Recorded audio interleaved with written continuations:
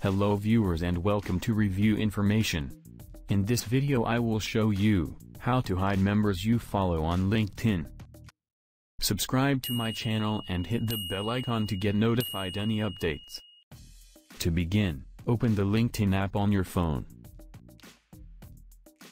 Tap on your profile icon from the top left corner. A new menu will appear from the left. Tap on Settings. Then go to Visibility. Here you will find, who can see members you follow. Tap on it.